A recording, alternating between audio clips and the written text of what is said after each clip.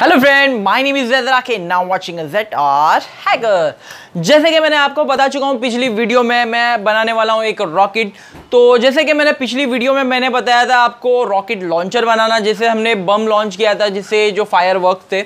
तो सिंपली हमारा जो रॉकेट लॉन्चर वही है। पर अभी हम जो बनाने वाले हैं, इलेक्ट्रिक फ्यूज़, जो कि आप इजीली आप बटन से ही अपना जो रॉकेट फ्यूज रहता है, वो बना सकते हो। तो वीडियो को स्टार्ट से लेकर एंड तक ज़रूर देखें। बीच में प्लीज़ स्किप मत कीजिए और रॉकेट भी मेरी रेडी हो चुकी है। मैं नेक्स्ट वीडियो में ज़रूर बता दूँगा। अगर आपने अभी तक सब्सक्राइब नहीं किया तो पहले सब्सक्राइब कर लीजिए और साथ में जो बेल आइकॉन दिख रहा है, उसे भी दबा दीजिए, ताकि आपको आगे आने वाली नोटिफिकेशन सबसे पहले मिलते रहे। और राइट गैस तो यहाँ पर मैं नाइक्रूम वायर यूज़ करने वाला हूँ। नाइक्रूम वायर आपको कहीं पर भी मिल सकता है ऑनलाइन पे। और अगर आपको फ्री में चाहिए तो ये आपके घर में इजीली मिल जाएगा, जो हमारी आयरन रहती है, उसमें से मिल जाएगा ये आपको। जो कॉयल रहती है हीटिंग कॉयल इसी को नाइक्रूम वायर कहते हैं। अब मैं यहाँ पर दो वायरों के जॉइन कर दूँगा बीच में। नाइक्रूम वायर को हल्का सा स्पेस रहेगा। आप देख सकते हो, दोनों को हल्का हल्का जॉइन कर दूँगा मैं। जो जो पॉइंट है दोनों का। अब यहाँ पर बीच में आपको दिख रहा है नाइक्रोम वायर अब यहाँ पर मैं फ्यूज़ बनाने के लिए एक यहाँ पर माचिस लूँगा।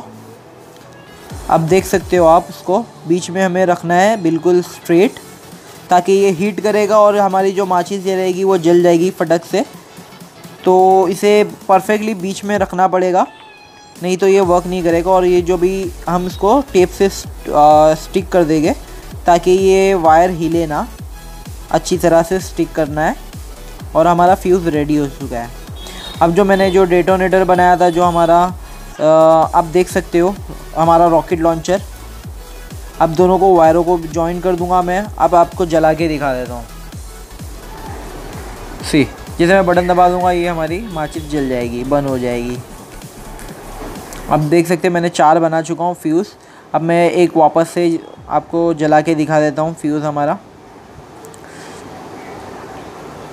अगर आपको नाइक्रोम वायर की वीडियो चाहिए तो मैं आपके लिए बना दूँगा कि नाइक्रोम वायर आप कहाँ कहाँ से निकाल सकते हो। आप देख सकते हो, ये भी बंद कर दिए। अच्छी तरह से। पहले मैंने जो बनाया था, मैंने फ्यूज़ को तो ये परफेक्टली वर्क नहीं कर रहा था क्योंकि मैंने पोटेशियम नाइट्रेट से ही बनाया था। तो ये बीच में जो उसके जो होल था, वहाँ पर ये अटक गई थी तो ये रिलीज़ नहीं हो पा रही थी।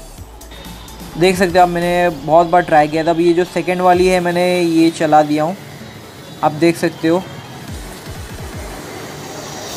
ये भी इसी वजह से थोड़ा ख़राब हो चुकी थी हमारी रॉकेट। अभी जो मैंने फ्यूज़ बनाया हूँ, अब इससे मैं रॉकेट लॉन्च करके दिखा देता हूँ। कितना परफेक्टली ये लॉन्च कर रहा है, आप देख सकते हो। आई होप आपको ये वीडियो पसंद आई होगी। और पसंद आए तो प्लीज़ लाइक कीजिए शेयर करिए अपने दोस्तों के साथ में इस चैनल जेड आर हैकर को सब्सक्राइब करना मत भूलिए। और साथ में जो बेल आइकॉन दिख रहा है, उसे भी दबा दीजिए। हम मिलते हैं अगली वीडियो में। आज के लिए बाय